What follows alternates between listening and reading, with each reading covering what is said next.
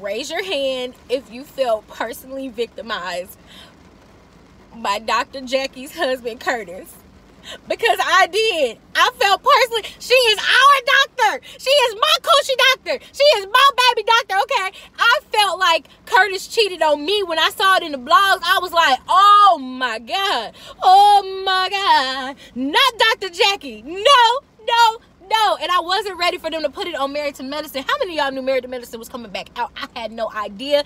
Cross my heart, I had no idea, but I'm here for it. Y'all, we're gonna go ahead and get into this Married to Medicine uh, season, episode, whatever. I don't know, but I'm here for it. I'll have it in the thing. Okay y'all they bringing up dr jackie and her husband and everybody feeling some type of way and what i was interested in was the different opinions that each of the women had and Dr. Jackie said it best. She thought the world was going to be on her side, regardless of what happened. She thought that the world would say, you know what, he broke his vows. But people was like, that's what you get for not spending time with your husband. That's what you get for this. Okay, I was here with Quad. When Quad said that okay so i asked for something to get done and you don't do it so now i'm free to go do whatever i want to do because you don't do it. No you work on it. You work on it and you get better. You could tell dr jackie was trying during last season but it's almost like she had kind of given up by the time the reunion had came. Now i don't know how far apart the end of the season from the reunion was but it it seemed to me like she had kind of given up but she she gave up gracefully like i want my man to be happy and if he's not happy with me i want him to be happy. But i was sitting here like lord have mercy curtis did you have to do it so publicly? Dr jackie is a matriarch. Like she is i hope i said the word right. Like she is that girl when it comes to being a doctor and running her business, keeping her mouth clean, keeping her business clean. Like she's just an all around good person. You don't you don't do bad to Dr. Jackie. No, you don't do that. And then I couldn't get with Toya. Toya was defending uh Curtis like, well, I take care of my man. I gotta do this and that. Well, uh, yeah, because you ain't got nothing else to do. You ain't got no job, Tommy. So you got to. Dr. Jackie was taking care of her business. She had to do what she had to do to take care of her business.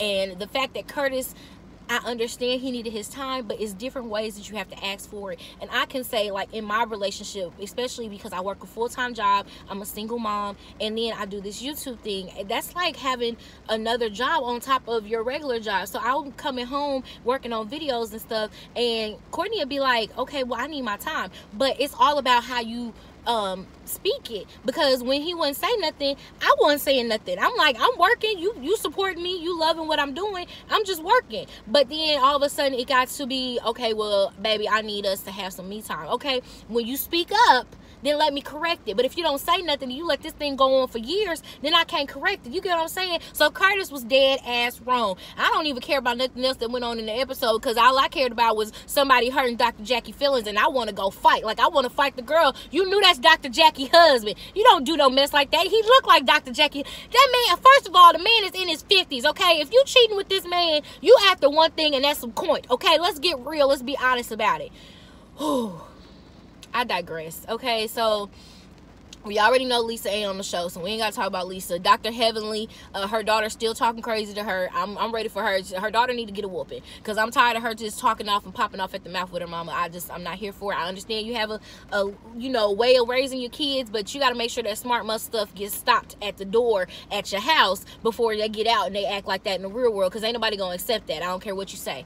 Um, Quad, I'm here for Quad. Um, I'm you know why I'm here for Quad. People talk about her not having no babies, but let me tell y'all something. I am a single mother and I can't stress this enough. And I never wanted to have any kids. That wasn't in my plan. You can ask everybody that you know that I wanted to have a pre-made family. So I've always been that type of girl. So I don't say anything about people who don't want to have kids even though I have a kid of my own. It's not for everybody. You have to be mentally you don't have to be mentally ready, but the, the stuff that comes up with being a mother is deep. And if you can recognize that you're not ready before you go ahead and, and, and start trying to have a baby and you know you're not ready, you are really doing you you doing better than half of us out here who had unplanned pregnancies. And I'm just being real. So everybody want to get mad at Quad because she's like, hey, I'm living the life. I ain't got to do nothing. I, I ain't got nothing, no, no responsibilities besides taking care of my little doggies and my man. And it satisfies me. What satisfies me may not satisfy you, but guess what? It's me, okay?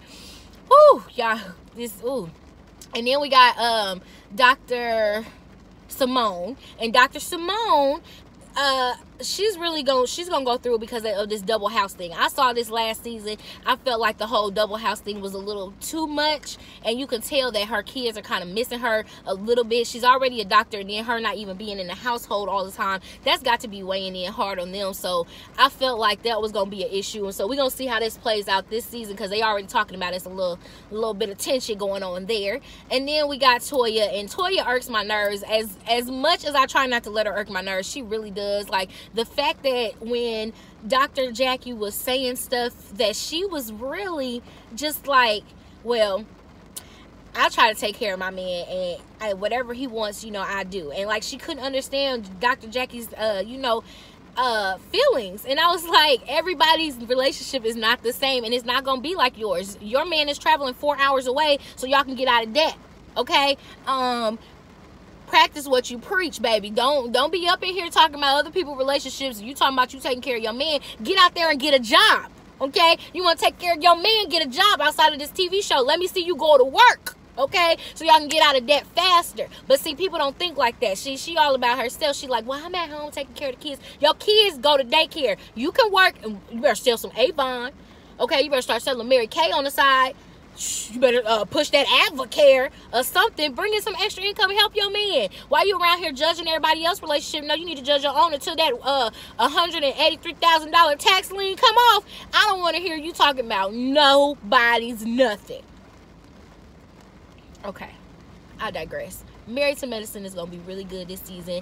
Um, we did not see Mariah yet, but um, she's coming up in a couple of episodes. So basically, she ain't holding a peach no more. Um, what they holding a stethoscope? she ain't holding a stethoscope no more. But she's still a part of the show. And then we're introduced to another woman, and they have her picture on the thing. And so apparently, she's like in the army or something. So she's gonna be giving Dr. Heavenly a run for her money. You know, I'm like, okay, so we just gonna bring black women in here and just try to cause some beef, but that that's what we do. That's what we do best. Okay. But I'm here for it. I hope you guys enjoy this review. Let me know what you guys think down below. Are you guys going to keep watching the rest of the season? I am here for Married to Medicine because I love just seeing business women do their business things and have a little struggle with it. So, yeah. I will catch you guys in the next one. Okay, okay. Bye.